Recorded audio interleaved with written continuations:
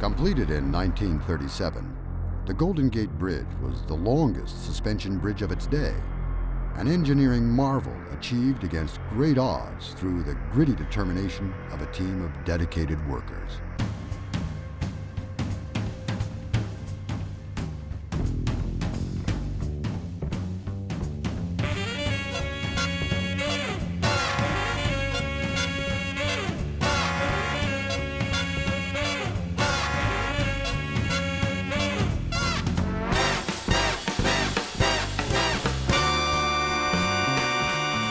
Golden Gate Bridge was built during the Great Depression, and I think at that time jobs were so scarce for everybody. And uh, I think getting a job at the bridge was pretty special because that was full-time work.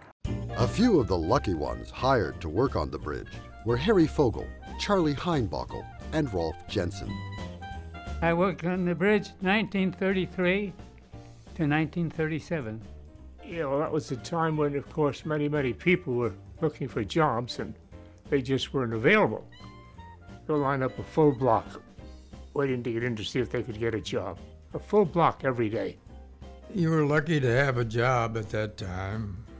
I figured I was anyway. We were making $11 a day, and that was considered pretty good wages at that time. Harry Fogel came to the Golden Gate Bridge in 1936 as an experienced bridge painter. Six of us, I think, that went over from the Bay Bridge. And uh, the man asked if anybody had worked on the cables before. And I said I had. I just came over from the Bay Bridge. So he said, Well, you wouldn't mind taking the long one here then. So I took the one next to the towers.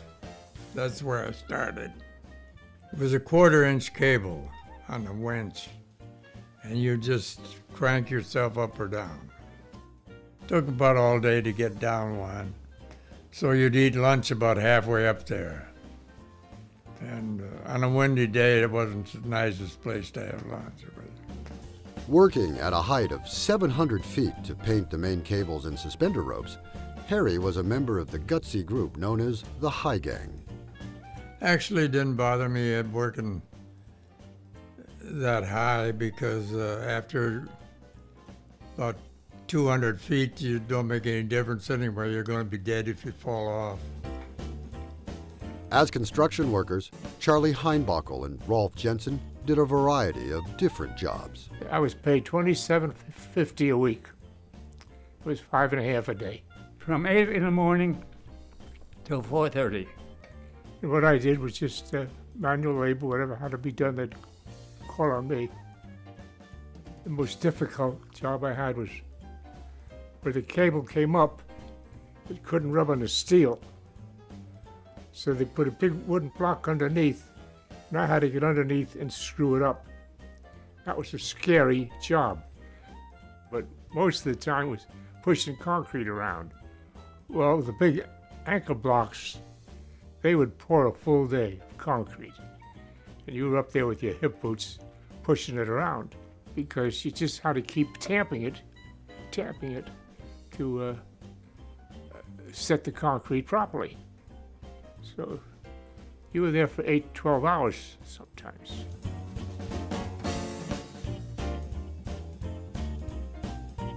Uh, This is where Rolf and Charlie actually worked on the pylons, the anchorage here at the south end of the bridge, doing the forming for the pylons and the anchorages and actually pouring the concrete to build these immense structures here to support the main cable and protect the bridge.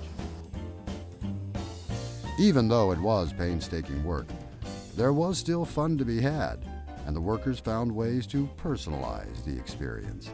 Charlie Heinbockel drank a beer at the top of the bridge. I used to go up to the top and uh, drink my mother's home brew and take a pint of it to work with me every day. then, of course, when I finished, what was I going to do with the bottle? Well, fortunately, there was plenty of space out there. And just threw the bottle over and got rid of it. During the concrete pour, Rolf Jensen tossed coins into the mix. So you're pouring a concrete, you threw money in. Yeah, Oh, okay. Why'd you do that? for the hell of it. For the hell of it. All right, that's a good reason. Okay. The men who built the bridge faced harsh elements high winds, fog, strong currents, and great heights. Chief Engineer Joseph Strauss made safety a priority. Safety was very important during the building of the Golden Gate Bridge. Uh, Joseph Strauss uh, was really important to him to have a safety net underneath the whole bridge while they were working. Uh, in case anybody fell off the bridge, they would fall into the safety net. And he also wore hard hats at that time, and he wore safety belts. So I think safety was uh, a priority and was very important to make sure that they were protecting the workers. When you looked out there across the Golden Gate and realized that you were going to be on top, yes, it was a great concern. Dangerous, you know. It's windy. They made sure you had your safety belt and at times a hard hat. Very important. The Golden Gate Bridge was one of the safest ones I ever worked on. Even though safety precautions were taken, some tragedies did happen, like the scaffold accident where the scaffold broke loose from the railing and fell through the safety net, and the workers that were working on that fell into the bay and were killed. Well, I, I worked with uh, three of them that were swept out to sea. Two of them were Charlie Lindros and Chris Anderson. I worked with them. Oh, well, that particular day we were working on an outside scaffold. Outside scaffold. I got out of it, but they stayed in, and eventually it just gave way and out they went to sea. I could have been in there too. Fortunately, I wasn't. The Golden Gate Bridge means different things to different people. For locals, it's a breathtaking drive into San Francisco. For visitors from around the world, it's a landmark of great beauty and grace. And for the men and women who work on the bridge, it's a sense of pride and accomplishment.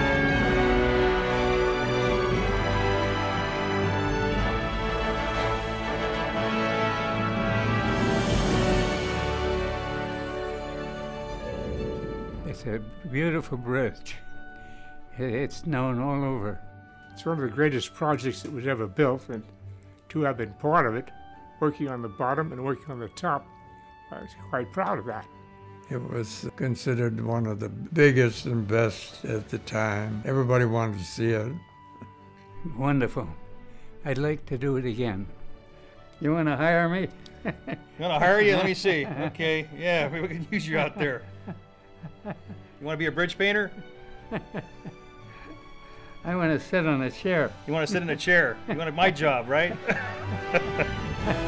I love working here. I think it just it's a privilege and an honor to take care of a world icon like the Golden Gate Bridge. I think people that see the Golden Gate Bridge compare it to seeing the Statue of Liberty on the East Coast, that when you come to see the Golden Gate Bridge, you know you're home.